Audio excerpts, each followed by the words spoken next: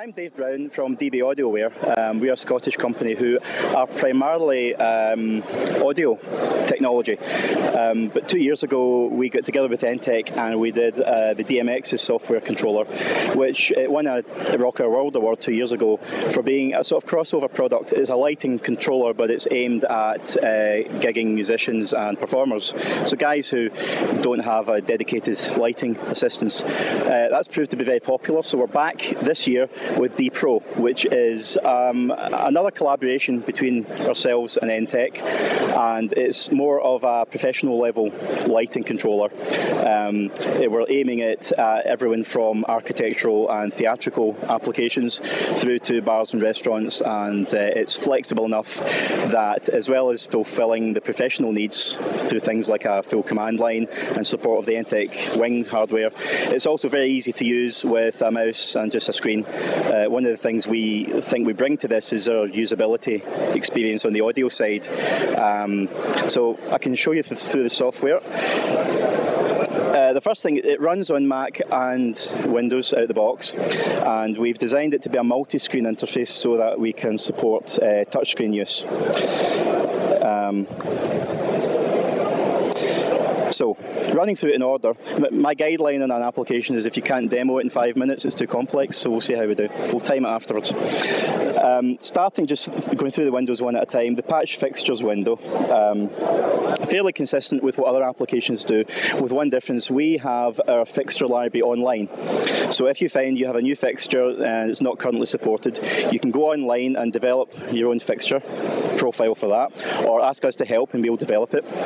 Um, and then if you click Get New Fixtures here, uh, DPro will directly contact the fixture library, download it straight into the program. If you don't have internet connectivity, you can do it a manual me- method. But the key there is if someone in the other side of the world writes a profile for that fixture, you can be using it five minutes later.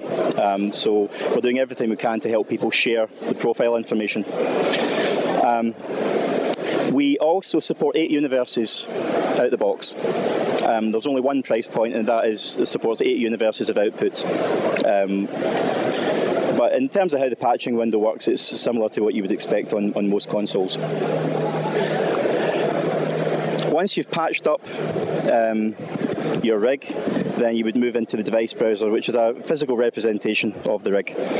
We've got a fairly regular looking grid layout, but uh, the physical layout is quite interesting. This is one where you would you can drag and drop the fixtures around to, to be a physical res- representation of your rig. And when when you as you see when we get the show running, this will provide some feedback. It will show you the RGB colours, the pan tilt positions, the dimmer levels. Um, so it's a good visual representation that, that the, the, the look is doing what you want. Um, to program up a look, um, well, yeah, this window up here, which I've positioned on the touchscreen, is a library of all the components. So that's going to be your cues, cue lists, palettes, and groups, and so on. Uh, to program, into the programmer window. Um, so here, the, the programmer is just going to record everything we do here. So say we want to take these front three spots, and it immediately shows you the attributes for that fixture. Pull the dimmer up to 50%, so we can see visualizer showing what's going on, and we also see in the device browser.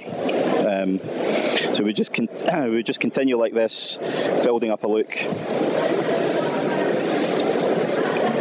We can also add effects. The effects engine in DPro is interesting because we've written it using Python, which is an industry standard scripting language, um, which means that A, we can add new scripts quite quickly on demand, and B, anyone who's uh, a keen enthusiast can try their hand at writing their own effects scripts. So an example is we could take these front three spots um, and just add a shutter chase even though it's a, a, Python script, we have you can add parameters. Each script can have its own custom parameters. In this case, uh, we can see on the screen and on the device window that we now have a chase running. We can change to the width and the speed, change the direction. Um, change the the shape of it to a smooth fade. So um, you can create quite a, a, dynamic cue with lots of effects in it without having to resort to cue lists to do um, chases. Once you've done that, you would save you know a bunch of cues. It, it's worthwhile saying we support palettes, so you can um, design uh, a palette that contains just positional information.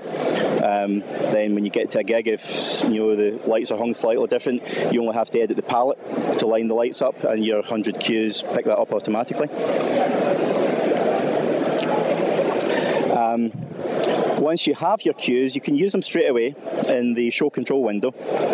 The show control window is our top level. This is where you run your show from, and we've uh, it, it, has both touch buttons, which, as you can see, work on touch screens or by the mouse, and we've had success running this with iPads as well. Um, and we have faders, so you can either um, control cues, and it's all it's all layered, um, so we can build up and busk looks like this. Really interesting way to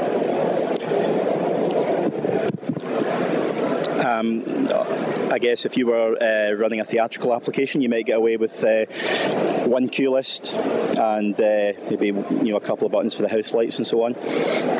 Whenever you run a, a just kill that. Um, we can either drag cue, we can drag cues here, and all you do to load them on here is just drag them from the library in there. And there's one that's a slow chase. So that's just one that's also. There we go. Um, so you can run cue lists here, or you can just run cues.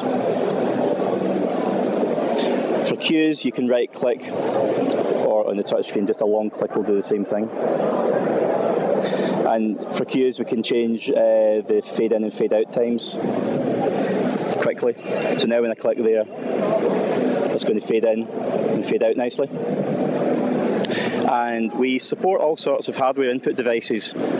Um, we can trigger these buttons or the faders from, at the moment, keyboards or MIDI information or the Enttec wings. So if we want to trigger that from the spacebar, now this can be triggered from the spacebar. We get a nice fade up, spacebar, fade down again.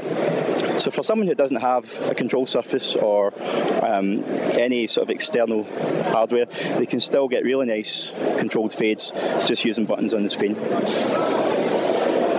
And I think the one I haven't cons- uh, covered is the actual cue list editor itself, which is not dissimilar, but we have a timeline on the bottom.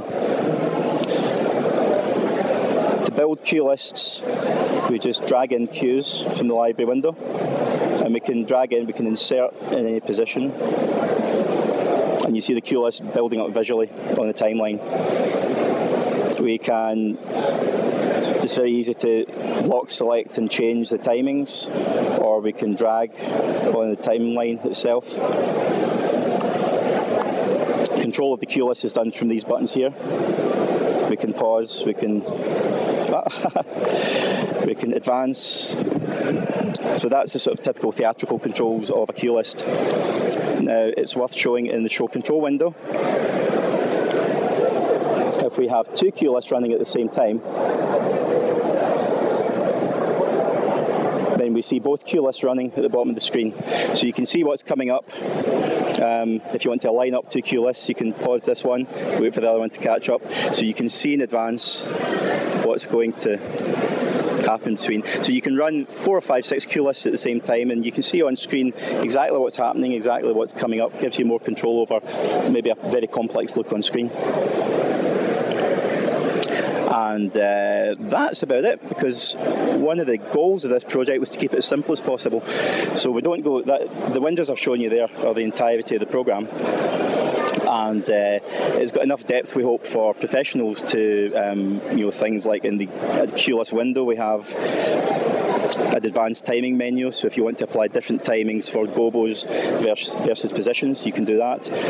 Um, but for someone who's maybe not got as much lighting experience as a professional, but they still want to do a good looking show, um, then they can get into it very quickly and within half an hour we're up and running something. So that's us. Thanks very much.